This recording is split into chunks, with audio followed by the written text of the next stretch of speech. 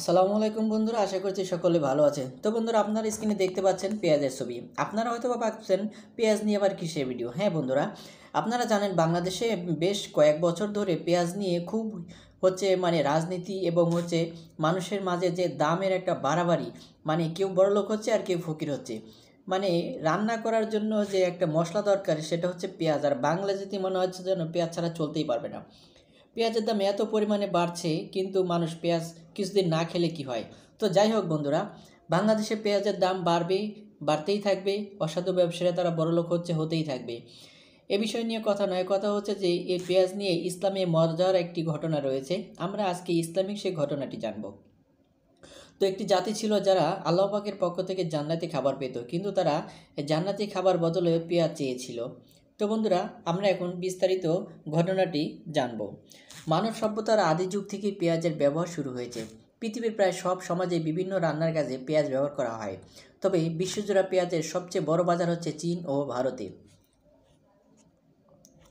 উৎপাদিত হয় শীতপ্রধান এলাকায়। পবিত্র কোরআনে পেঁয়াজ প্রসঙ্গে যা বলা হয়েছে, পবিত্র কোরআনে রয়েছে বিভিন্ন মশলা জাতীয় উদ্ভিদের নাম। সেগুলোর মধ্যে একটি হলো পেঁয়াজ।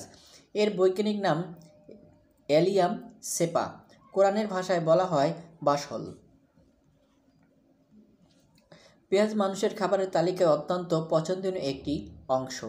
নির্বোধ বনি ইসরায়েলিরা জান্নাতের খাবার, মান্না, সালোয়ার পরিবর্তে যেসব খাবার চেয়েছিল তার একটি হলো পেঁয়াজ।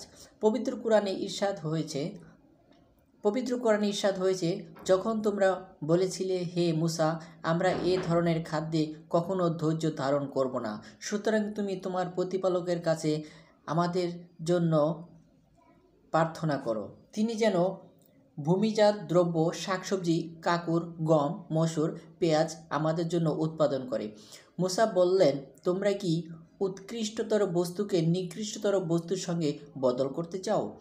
তবে কোনো নগরে অবতরণ করো, তোমরা যা চাও নিশ্চয়ই তা সেখানে আসে তারা লাঞ্ছনা ও দরিদ্রগ্রস্ত হলো এবং আল্লাহর ক্রোধের পাত্র হলো। এটি এজন্য যে তারা আল্লাহর আয়াতকে অস্বীকার করত এবং নবীদের অন্যায়ভাবে হত্যা করত।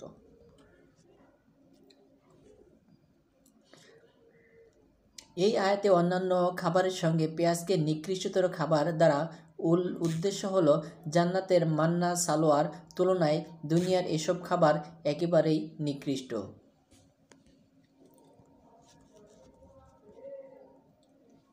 জাবের ইবনে আবদুল্লাহ রাজি আল্লাহ তাল্লাহন থেকে বর্ণিত তিনি বলেন, নবী সাল্লাহ আলাইসাল্লাম বলেছেন, যে ব্যক্তি রসুন বা পেঁয়াজ খায়, সে নবী করিম সাল্লাহ আলহিহাল্লাম বলেছেন, যে ব্যক্তি পেঁয়াজ খায় বা রসুন খায়, সে যেন আমাদের থেকে দূরে থাকে। বলেছেন যে, সে যেন আমাদের মসজিদ থেকে দূরে থাকে আর নিজ ঘরে বসে থাকে। তবে তরকারি ইত্যাদির সঙ্গে পাকানো পেঁয়াজ খেলে যেহেতু তেমন দুর্গন্ধ হয় না, তাই সে ক্ষেত্রে পেঁয়াজ খেয়ে মসজিদে আসার অনুমতি আছে। তো বন্ধুরা, আপনারা জানেন যে পেঁয়াজ খেলে একটা দুর্গন্ধ হয়, তো কাঁচা পেঁয়াজ বা রসুন খেয়ে মসজিদে যাওয়া যাবে না। তাছাড়া কাঁচা পেঁয়াজ খাওয়ার পার্শ্বপ্রতিকেও স্বাস্থ্যঝুঁকি কম নয়। পেঁয়াজকে বলা হয় বায়ুনাশক, কিন্তু রান্না করা পেঁয়াজ বায়ুনাশক হয় না। মজার বিষয় হলো, এই পেঁয়াজের নামে নেটওয়ার্ক আছে, যা ব্যবহার করে বিশ্বের বড় সাইবার অপরাধী, দ্য দ্য অনিয়ন রাইটার। পেঁয়াজের লোগো দ্বারা পরিচালিত একটি প্রজেক্ট যা অনলাইনে ব্যবহারকারীকে লুকিয়ে রাখতে সাহায্য করে। বর্তমানে এটি টর নেটওয়ার্ক নামে বিশদভাবে পরিচিত। একটি পেঁয়াজের যেমন অনেক কভার থাকে এবং একটি কভার খুললে আরেকটি কভার আরেকটি কভার খুললে আরেকটি কভার আসতেই থাকে। টর নেটওয়ার্কটা এই ধরনের অনুসরণ করেই অনলাইনে ব্যবহারকারীর পরিচয় গোপন রাখতে সাহায্য করে।